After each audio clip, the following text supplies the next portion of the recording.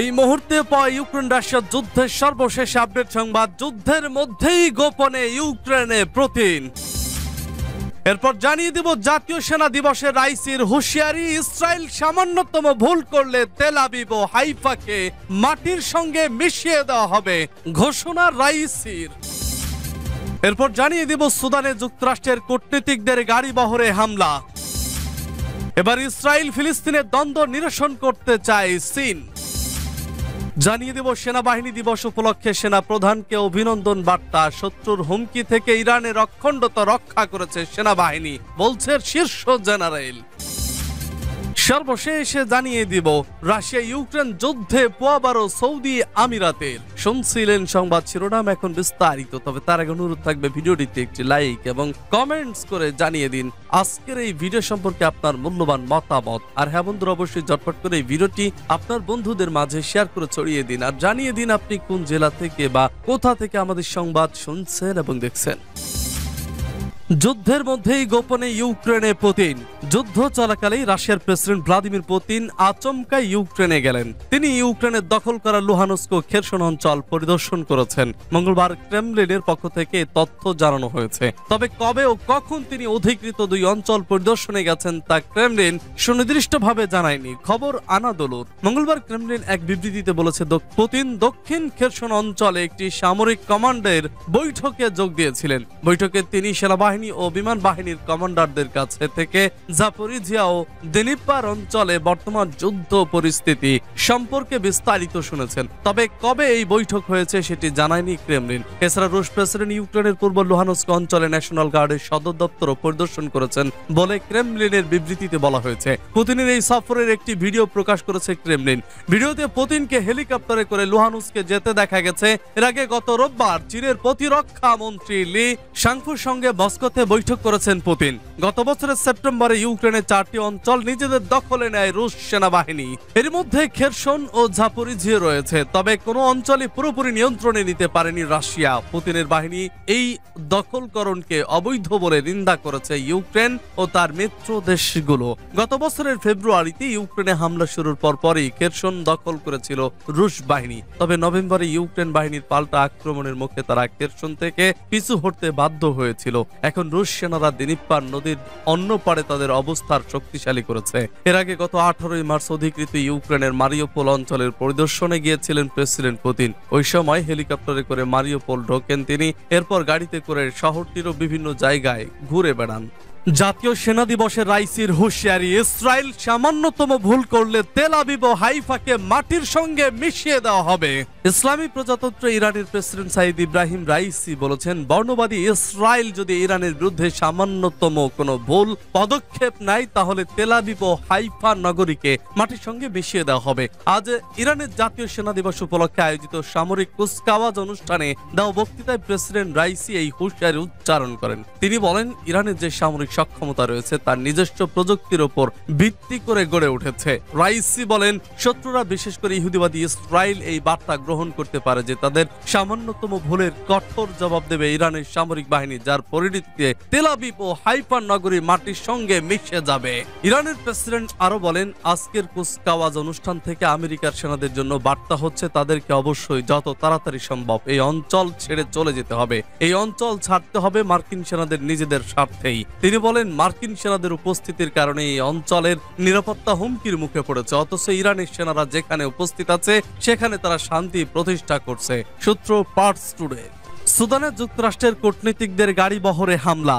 সুদানে যুক্তরাষ্ট্রের কূটনীতিকদের একটি গাড়ি বহরে লক্ষ্য করে গুলি চালানো হয়েছে, তবে এতে কোনো হতাহতের খবর পাওয়া যায়নি। মার্কিন পররাষ্ট্রমন্ত্রী অ্যান্থনি ব্লিংকেন এ তথ্য জানিয়েছেন। অ্যান্থনি ব্লিংকেন জানিয়েছেন, সুদানে সংগঠিত হওয়া ঘটনাটি ছিল বেপরোয়া দায়িত্ব জ্ঞানহীন এটি অবশ্যই অনিরাপদ। তিনি আরও জানান, সোমবারের এই গুলির ঘটনায় কেউ হতাহত হয়নি। এর আগে সুদানে কর্মরত ত্রাণ কর্মীদের উপর হামলা হয়। এমনকি খার্তুমের রাজধানীতে ইউ দূতের বাসভবনেও হামলা চালানো হয়। এএফপির এক প্রতিবেদনে বলা হয়েছে, সুদানে জরুরি ভিত্তিতে যুদ্ধবিরতির প্রয়োজনীয়তার উপর জোর দিয়েছেন ব্লিংকেন। এজন্য তিনি দেশটিতে বিবাদমান দুই জেনারেলের সঙ্গেও কথা বলেছেন। পরে টুইট বার্তায় ব্লিংকেন বলেন, সুদানে ইতিমধ্যে অনেক বেসামরিক মানুষ প্রাণ হারিয়েছেন। দেশটিতে অবস্থানরত কূটনৈতিক ও সাহায্য কর্মীদের নিরাপত্তা নিশ্চিত করার গুরুত্বের উপর জোর দিয়েছেন তিনি। এবার ইসরায়েল ফিলিস্তিনের দ্বন্দ্ব নিরসন করতে চায় চীন।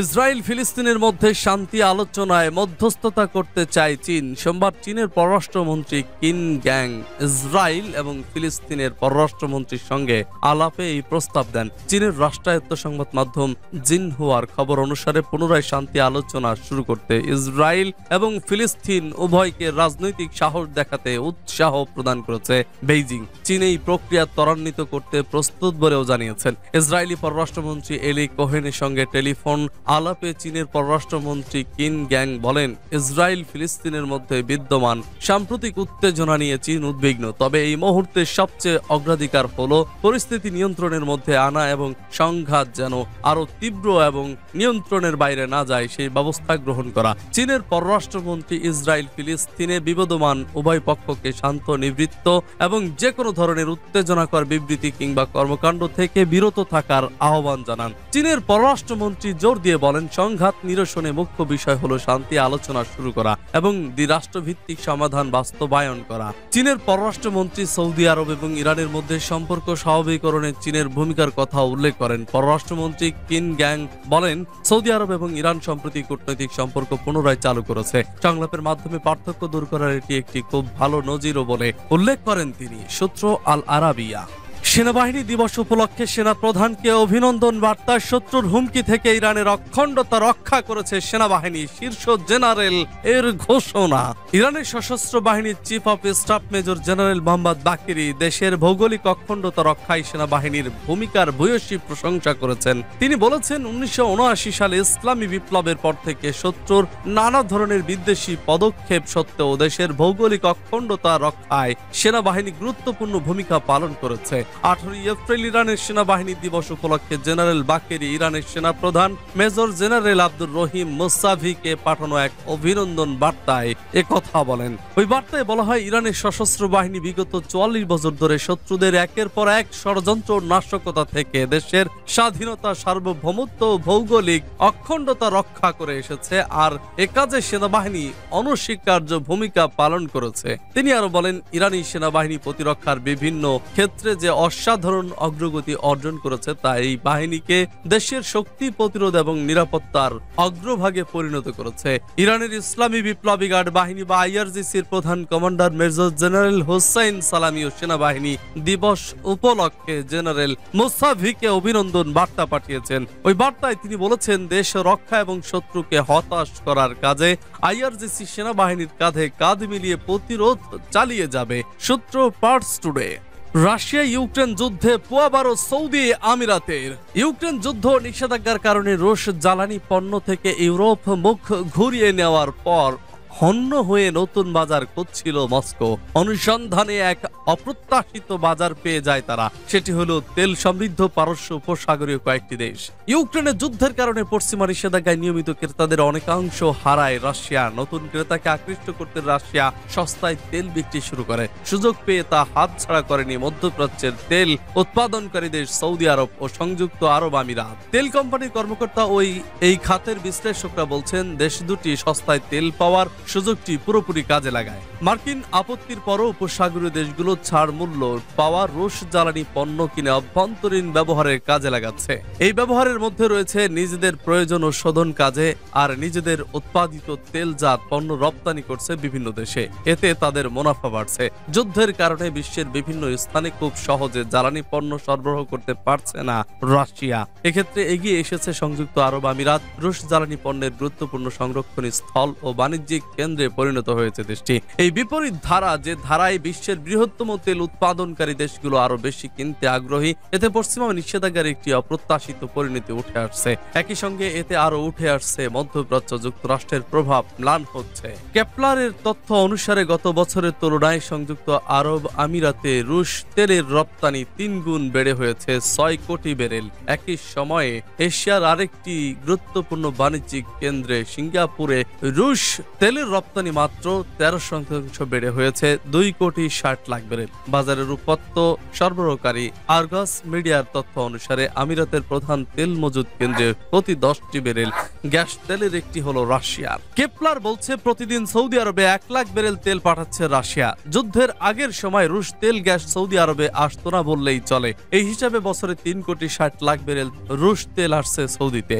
সৌদি ও আমিরাতিদের রুশ তেল ও জ্বালানি পণ্য কেনার বিষয়টি মার্কিন কর্মকর্তাদের নজরে এসেছে। তারা বলছেন, এর ফলে ক্রেমলিনের যুদ্ধের ব্যয় নির্বাহের পথ বন্ধে পশ্চিমা উদ্বেগ খর্ব হবে। মার্কিন অর্থ মন্ত্রণালয়ের আন্ডার সেক্রেটারি ব্র্যান্ড নেলসন ফেব্রুয়ারিতে মধ্যপ্রাচ্য সফর করেছেন। সৌদি আরব, সংযুক্ত আরব আমিরাত ও তুরস্ক যাতে রাশিয়ার বিরুদ্ধে পশ্চিমা নিষেধাজ্ঞা মেনে চলে তা বোঝানোর চেষ্টা করেছেন। এ বিষয়ে সৌদি আরবের রাজদরবার ও মার্কিন অর্থ মন্ত্রণালয়ের মন্তব্যের অনুরোধে সাড়া দেয়নি আমিরাতের এক কর্মকর্তা বলেছেন, দেশটি জাতিসংঘের নিষেধাজ্ঞা মেনে চলে। আন্তর্জাতিক অংশীদারদের সঙ্গে উন্মুক্ত সততার সঙ্গে বাণিজ্য চালিয়ে যাবে সংযুক্ত আরব আমিরাত।